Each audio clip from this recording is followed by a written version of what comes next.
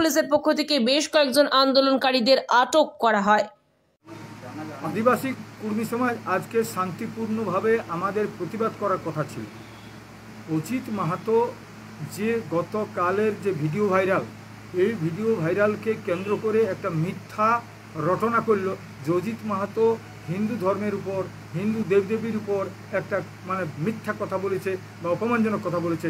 এই কথাটা আমার ভিডিও ভাইরালে আমি বলব, সমস্ত সমাজ বন্ধুদেরকে বলব, সমস্ত জাতি সমুদায়কে বলব, আপনারা ভালো করে দেখুন, একদম নিখুঁত দেখুন। অজিত মাহাতো কোথাও কারোর সম্মানে আঘাত দেয় না।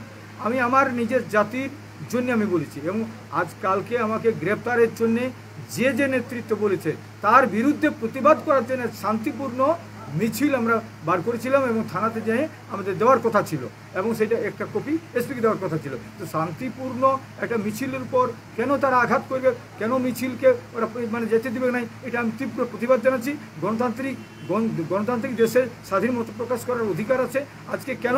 এরা তো কোনো বলে নাই, কিচ্ছু বলে নাই। আমি তো দেখতে পাচ্ছি সব। কেন এরা আমাদের লোককে মানে গ্রেপ্তার গ্রেপ্তার করল বা আমাদের লোককে কেন লাঠিচার্জ করল অত্যন্ত দুঃখ দুঃখজনক ঘটনা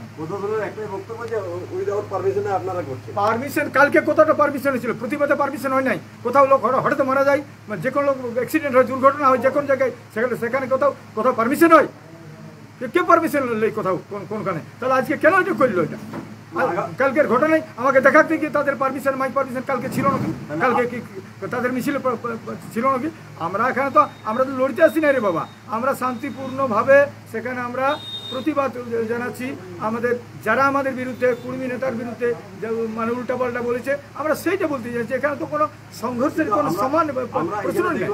যেমন একটা যে যুদ্ধের পরিস্থিতির মতো একদম যেমন সিচুয়েশন হয়ে গেছে। এটা পুলিশ করছে এটা। আমাদের লোকদের তো অস্ত্র ছিল না। আমরা তো লড়িতে যাই নাই। আমরা কি শান্তিপূর্ণ প্রতিবাদ আমরা জানতেই পারি? ইতিপূর্বে অনেক করা হয়েছে। গতকাল যেমন ওরা করেছে। আমরা তো কোনো বলি নাই। আজকে ওরা নাই। আমরা প্রতিবাদ জানাচ্ছি। এই তো কথা হলো।